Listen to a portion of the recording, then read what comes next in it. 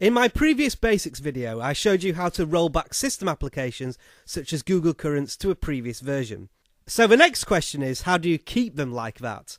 Well, applications are usually defaulted to automatically update when updates are available. So in order to stop that, go to the Google Play Application Store and on the main home screen you will see a little arrow pointing down in the top right hand corner of the screen. This will show you all the applications you've currently installed on a tablet and if there are any updates available. If you press on it, the app will give you a few options including update if there is any available and open. Just underneath these options is a tick box that says allow automatic updating.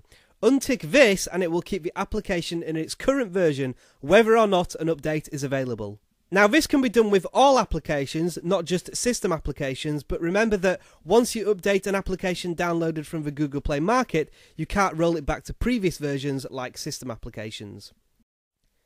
If you've been an avid viewer of my basics videos, and I know you all are, you will know that if you long press on an icon to pick it up and then dump it on top of another icon, this creates a folder. You can then drag more icons into the folder to make it bigger and therefore organise your home screens more efficiently. And here is my home screen, and as you can see, it's full of folders with lots of applications. However, the screenshot of a folder always displays the first icons you put in a folder, and these aren't always necessarily the ones you use most often. Take my games folder for example. I don't often play these three games shown here, yet they are displayed as my folder icon because they were first in the folder. I sometimes forget that more popular games are in this folder. So to make different icons appear on the folder icon, Pick up these apps within the folder and then drag them to the top left of the folder as illustrated here. Now my home screen shows the folder with the new icons I put at the top of the list.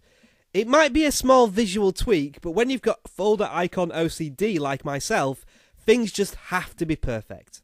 I'm asked this question so often, so I thought I would do a basics video on it. What is that live wallpaper you use on your videos? It looks fantastic. And you are right, it is fantastic, and I love it. And I've been using it for over a year now. This live wallpaper is called Galactic Core, and it's free from the Google Play Market. And unlike many other wallpapers that affect the performance of your home screens, this has no impact. Everything still runs perfectly. So thanks for asking, and enjoy the wallpaper.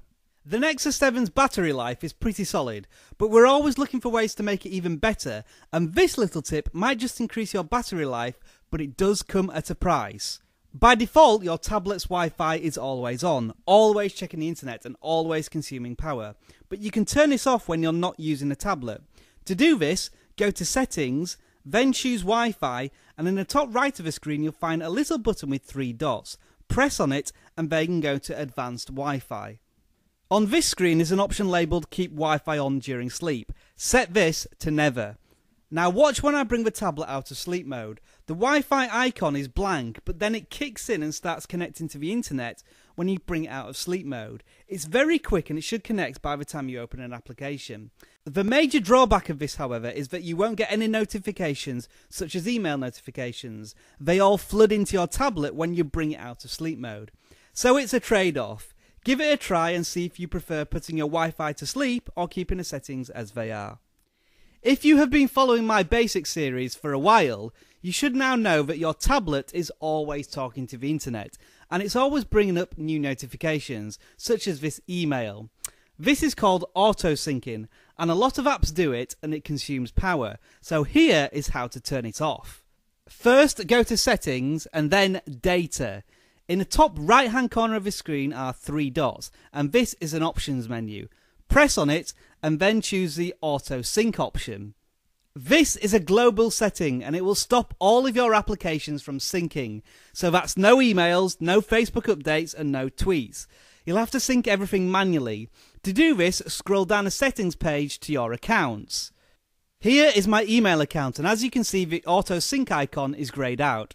So I have to go into the account and then press on the email account itself to trigger a manual sync. And in this instance, as you can see, a new email arrives.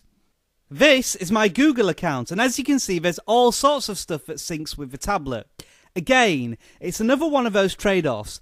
Keep your tablet bang up to date with all the latest content from the internet, or save a little bit of battery life. Back in the data usage screen, I'm going to turn AutoSync back on, And now, if I go back to my Google accounts, you can see that the sync is now in progress, and all sorts of things are syncing again with the internet. Bluetooth seems to come as standard these days, and the Nexus 7 is no different. That makes sharing files between Bluetooth devices a simple task. So I'm going to show you how to transfer something from another device to the Nexus 7. First of all, you need to pair the two devices together. To do this, you need to turn on Bluetooth on both devices. On the Nexus 7, that's done by swiping down from the top right of any home screen and choosing Bluetooth. When you switch on Bluetooth on the Nexus 7, it will search for any visible Bluetooth devices, so make sure your other device is visible. After a few seconds, the Nexus 7 should find the other device, press on it, and it will confirm the device you're trying to pair to with a passkey. If they both match, press OK, and they will be paired forevermore. Now it's time to transfer some files from one device to the other. In this example, I'm going to send a picture from the mobile phone to the Nexus 7. Most applications, such as the gallery, will include a share or send button. Press on it and choose the Bluetooth option. This will take you to the device's Bluetooth screen. You will now be able to select the device you previously paired to, and that should automatically start sending the file to the Nexus 7. Now the Nexus 7 needs to accept the file that's been sent to it. So scroll down from the top of the screen and you should have a notification for file transfer. Press on it and choose accept and the file will start sending from the mobile phone to the Nexus 7. If you swipe down from the top of the screen again, you can watch the progress of the file as it's transferred. Once the transfer is complete, you can press on a notification and that will take you to the Bluetooth file transfer list. Press on it and then choose an application to open a picture and voila! We now have a picture transferred from the mobile phone to the Nexus 7. For later reference, you can see what files have been received via Bluetooth by scrolling from the top right of the home screen, choosing Bluetooth, and in the top right hand corner, there is a Show Files Received option. Alternatively, if you have a file browser application, all Bluetooth files are stored in the Bluetooth folder. Of course, Bluetooth has many practical uses beyond file sharing, but this basic video should help get you started. This may come as a surprise to you, but the Nexus 7 doesn't come with a file browsing application. Now, on a tablet you may have no need for one, but it's always useful to have one. There are plenty of free ones available from the Google Play market, such as this one called ES File Explorer. It will show you all folders and files on a device, and while it's probably best to leave most folders alone, it is useful to know where some files are kept. For example, files transferred via Bluetooth save to a Bluetooth folder. Files downloaded off web browsers are usually stored to a folder called Download, and camera pictures are stored exactly where you think they would be, the DCIM folder. So my advice is to download a file manager just so you know you have one if you need one.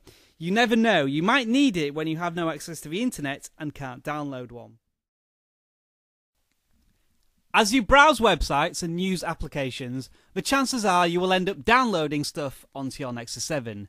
Take this quite delectable array of pictures from one of the leading technology YouTube channels on the internet.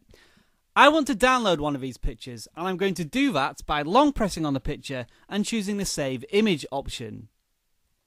Now, watch the screen as I perform this action. A little down arrow is going to display in the top left hand corner of a Nexus 7 screen. This is a download notification, and if you swipe down for your notifications, you will see that my downloaded picture is right there. Now, this is all very good and convenient, but after a few hours or so, the chances are you'll have removed your notifications. So where does the download end up? Well, if you go to your applications drawer, that's the middle button on your dock, you'll find an application called Downloads. Open the application and you'll be shown a list of all the things you've downloaded onto your Nexus 7, starting with the most recent, which is, of course, my picture.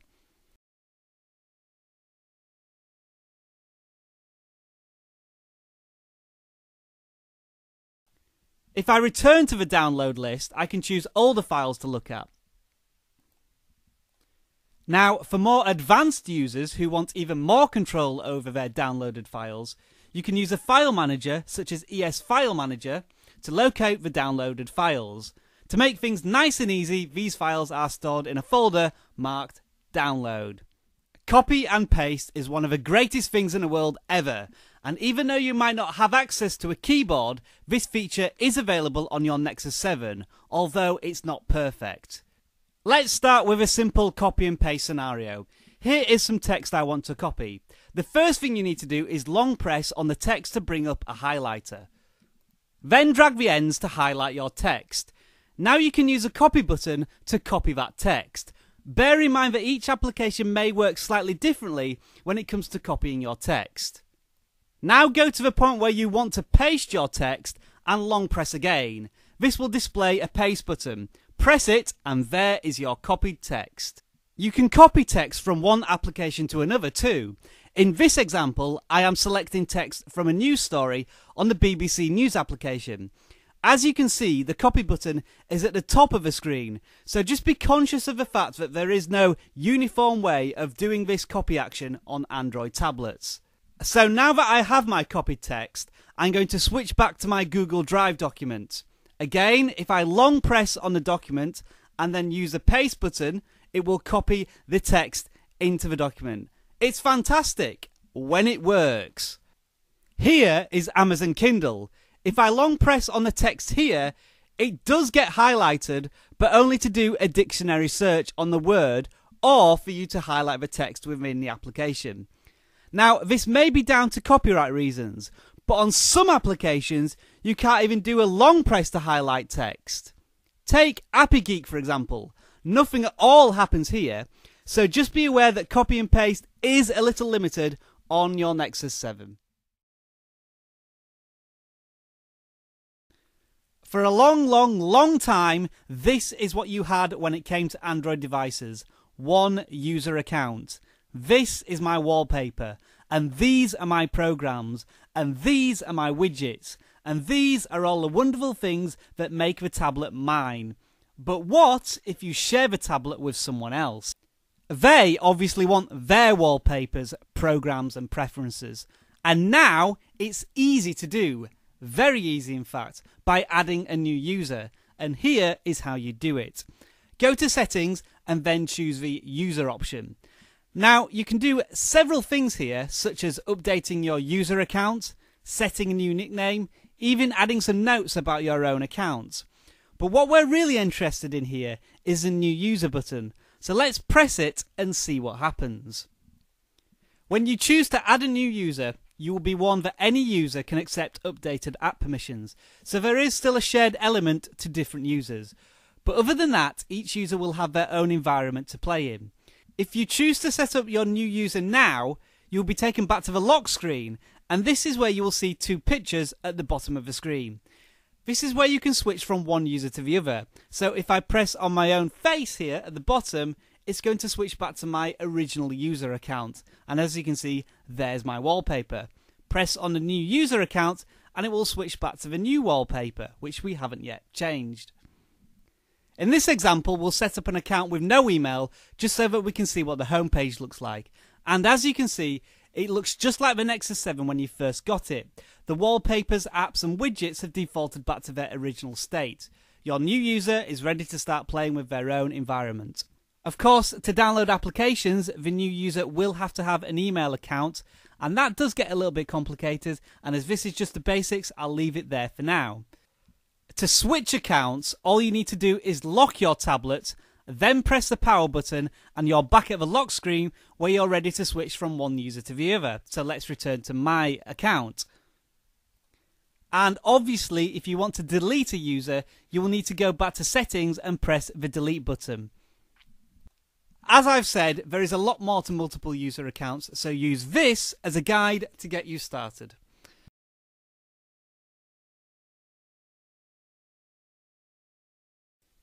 Thanks for watching this video. If you enjoyed it, please click that thumbs up button. I really appreciate it. And if you're hungry for more videos, subscribe. It's free after all.